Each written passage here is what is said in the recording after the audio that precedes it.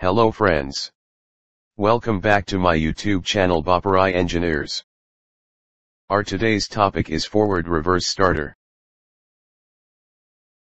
In this video we discuss about its power and control wiring circuit. In power circuit both reverse forward contactor are connected in parallel. Overload relay connected in series between contactor and motor. Detailed video of series and parallel circuit in control panel wiring also on my YouTube channel. In control circuit interlock between forward and reverse contactor is very important for safety purpose. Overload relay NC point and stop push button connected in series with whole circuit. Holding circuit wiring is same like DOL starter. Let's start its wiring.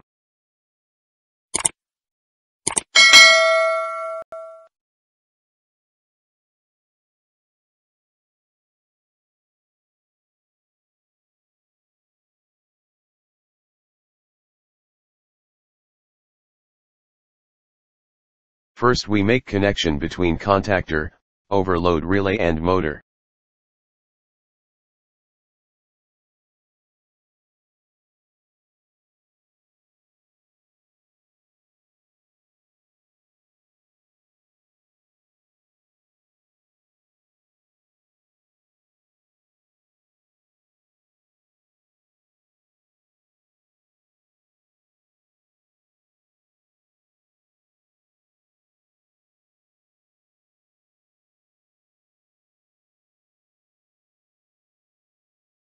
In next step connect control supply with overload relay, then with stop button.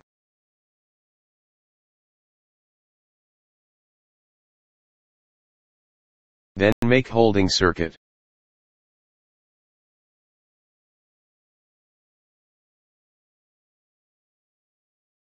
In last connect wire with contactor coils through interlock.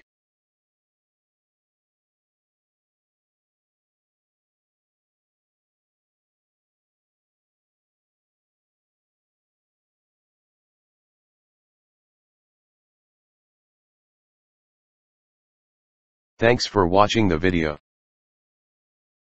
Subscribe the channel and press the bell icon for more technical updates.